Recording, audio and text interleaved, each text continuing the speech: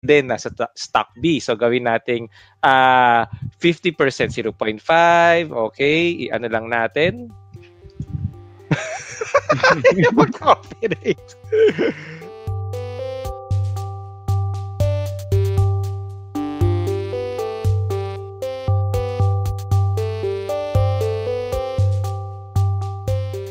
Hello everyone! Hello! Hello mga ka-Arky. Kamusta? Kamusta mga ka-Arky? Kamusta Marion? Kamusta? Mabuti naman. Mabuti naman tayo, mga tatays ng Wealth Arky. Oo nga, nandun tayo Arky nagsama. Oo, ano pag-usapan natin for ano for today? Oo, bi- bilang mga tatay tayo at marami tayong obligasyon sa buhay, oh, Kay- kailangan malaman natin kung mm. maganda ba ang returns ng mga pinapasukan natin kung ano-ano sa buhay. Ayan. Tama, tama. Oh. Kasi ano no, Marian sa mga ka-arky natin, marami kasing 'di ba lumalapit sa atin na oh, may investment ako sa ganitong stock, down ako ng ganito or minsan makikita natin 'di ba sa social media, oh, umakit ako ng I, I gained so much percent in my stock pero uh, ah, 200%. So parang ayama ka lang, pili mo. Oh. Galing, di ba? So parang anyway, so parang tingnan natin ngayon no kung talagang malalaman natin kung talagang magaling tayo sa investment management and portfolio management with this particular and certain concept. Yan, di ba? Oh, Pag-usapan natin, Mario. Oo, oh, ang critical doon is yung portfolio, no? Kasi sa portfolio, oh, you know, hindi lang naman isang stock ang meron ka eh. You want to diversify, you want to check out different companies. So, pag marami ka right. ng company sa portfolio mo, mm-hmm. paano mo ngayon ma-measure kung okay ba, nahihit mm-hmm. ba niya yung rate of return na gusto mo para sa oh, goal oh. na tina-target mo? That's right. So, hindi, kumbaga, kung positive ka sa isa o ang taas ng inakit mo sa isa, pero yung nares mo naman, eh balagoong, wala Patalo. rin.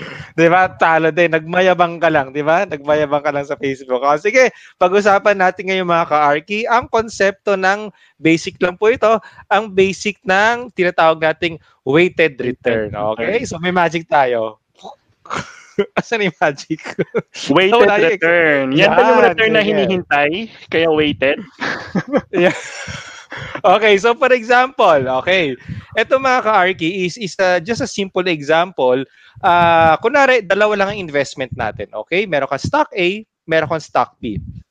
At halimbawa, okay, halimbawa, uh, kala yung weight is kung gaano karami in terms of the total portfolio yung inaalat mo. So for example, kalahati ng total stock portfolio mo no nasa stock A. So lagay natin, i-decimal muna natin 0.5. Yan. Kunwari, kalahati or 50%, okay, i-percentage natin kalahati nasa stock A.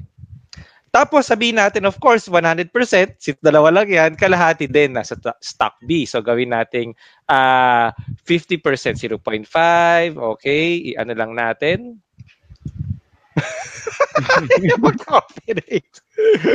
Sige, 0.5. Yan, 50%. Kalahati, okay. Mm. Ngayon, sige, ngayon, halimbawa, si stock A, okay, kumita ka kay stock A ng 10%. Okay?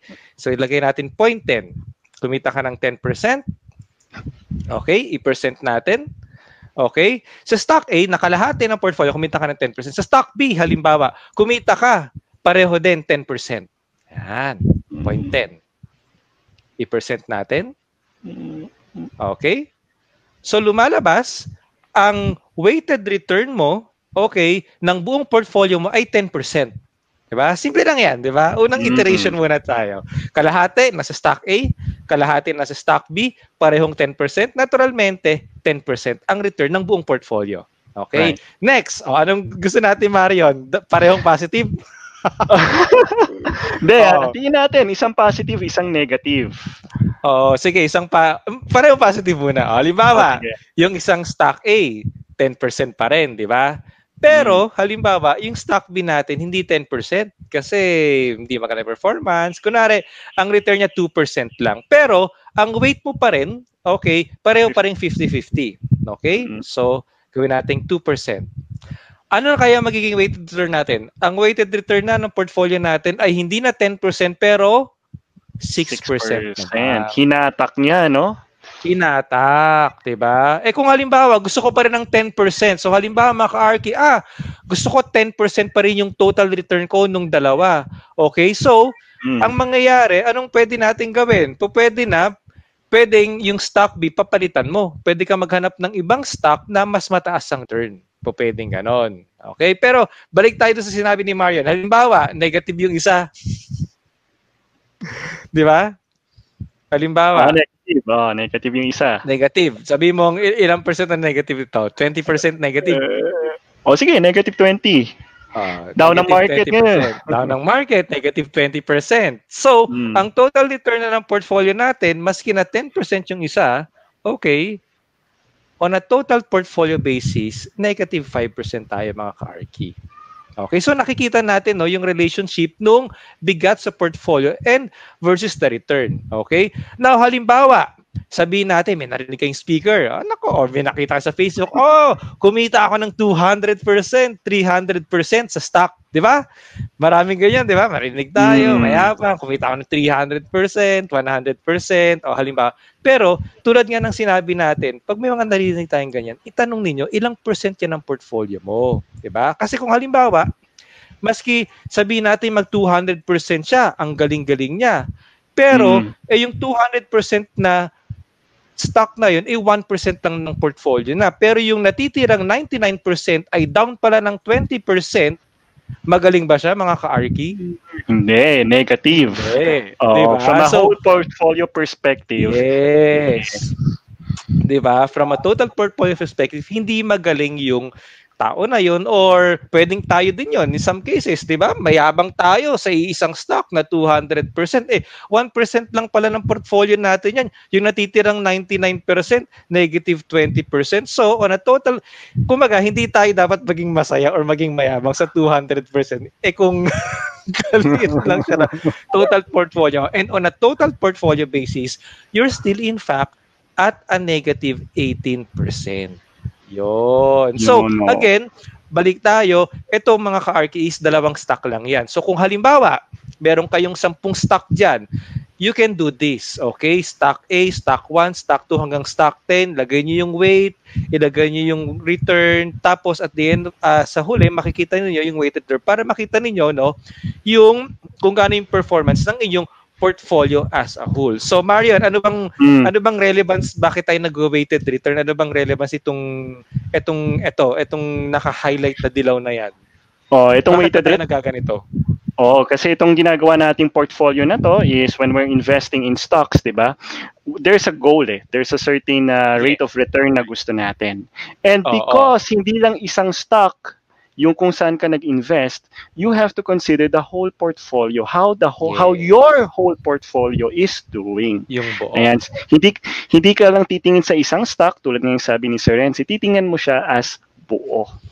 Ayan, mm-hmm. kasi lahat sila is part of your portfolio that is targeted towards your goal. Mm-hmm. Like for example, balak ninyo ng child's education fund, 'di ba? Tapos ang ang target rate of return ninyo is 10% per year para mapalaki yung pera nyo to that target amount. Halimbawa, 1 million ang balak ninyo in the future, no inflation adjusted. So, kumbaga dapat at the end of the day, itong dilaw na yan, yung weighted return sa baba, dapat 10% yan, year right. in and year out. Okay? Hindi tayo magiging masaya kung naka 200% ka sa isa o dalawang stock kung maliit lang siya na part ng portfolio niyo. So again, okay, ang tingnan po natin is yung total or the weighted return, the portfolio's weighted return. And of course, uh, binibigyan din tayo ng ano no, ng kumbaga a bit of a caveat nito na kapag may narinig din tayo sa Facebook na nagmamayabang na ang laki ng kita ko sa ganitong stock, I made this so much, etc. etc.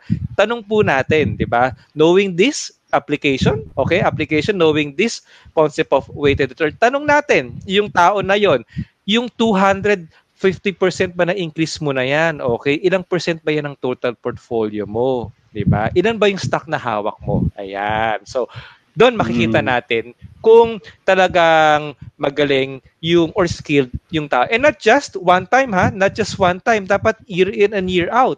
Itong weighted return natin consistent 'yan. Okay? Mm. Hindi lang ka dapat 200% na baka chamba lang yan. Dapat, again, kung nag-trade tayo towards a future goal like retirement, children's education, etong nakadilaw na to, ayan Important. yung dapat consistent na nahahabol natin.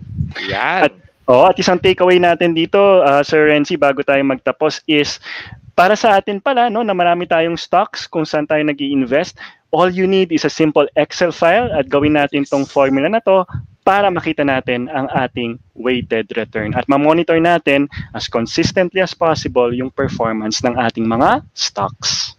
Yes. Ah, dagdag ko pa pala Mario, no? Biglang huling pasundot lang, no? Since bawat isang stock nagbabago ng return, so babaguhin niyo yung weight. Okay? So kung halimbawa sa isang stock mababa ang return niya, okay, halimbawa, uh, balik natin sa 50-50, no? Kung mababa ang weight ng certain stock, 2% lang to, tapos hinahabol natin 10%, then medyo maghanap tayo ng stock na halimbawa eh mas mataas. Gawi, siguro maghahanap ka na 14% ang return or pag naging 16%, o teka, gawin natin 18.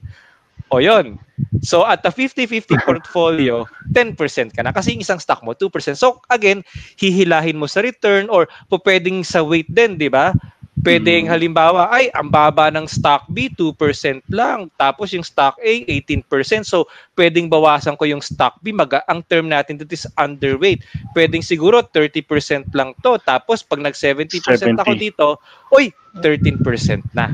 'Di ba? So, yan, nalaruin natin, no? So, yan ang mga nilalaro natin sa portfolio management. Hindi tayo tira ng tira, birada ng birada, tapos your thoughts, your thoughts, tapos bibilin natin, tapos kunari 10,000 tapos limang stocks equally weighted. Eh kung iba-iba naman ang weight of return niya ng mga ka-ARKI eh Correct. baka hindi mo ma-hit yung target mo. Okay so this is short tool sa, sa mga ka-ARKI natin. This would be a very very significant and important tool to achieve your financial goals. Okay so I guess that's it for basic portfolio management uh, the portfolio weighted return edition. So again if you like this video please give it a thumbs up hit the notification bell so the and don't forget to subscribe to our channel para mag 50,000 subscribers na tayo soon. At yeah, sasayaw so, si Sir Renzi. Ayan. Okay, so thank you very much and until the next video, stay safe always.